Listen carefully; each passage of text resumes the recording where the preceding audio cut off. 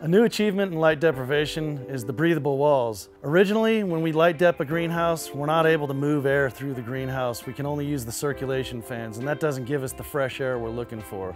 Because again, when we cover up the greenhouse in a, in a tent or a bubble, it's unnatural. And so in order to move the air, especially for people that are in these humid zones and tropical regions, You've got to move all the air all the time. When the blackout system is closed, louvers in the greenhouse with the fans and intakes usually let light in and we couldn't actually use the fans and intakes during the light dep period. So now we have something called the breathable wall and what it does is it actually just traps the light, letting the air flow. And so when we keep the air moving without the passage of light, we can actually use our big 36 inch exhaust fans and 42 inch intake shutters on the greenhouse that we would normally try to use uh, during a day or a cold zone, uh, but while it's blacked out. So I have a lot of people that do retrofits to existing greenhouses. I have a lot of people that build their own little structures out of PVC or maybe even wood.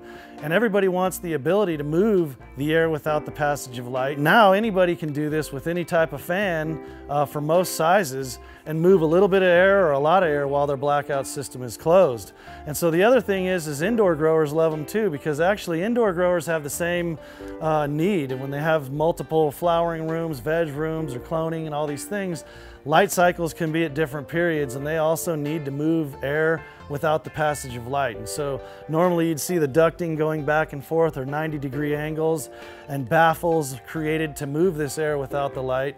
Well, now there's a simple fixture that can be put up and let the air move passively or be fixed over a fan and an intake to actually help move this air across, which actually helps the quality uh, of the product. Now with breathable walls and breathable fabrics in your greenhouse, people in other zones that are in tropical, more humid zones have a better chance of doing some of the things that other people are doing in these drier areas. So the things that we thought we couldn't do, uh, now we probably can say we can.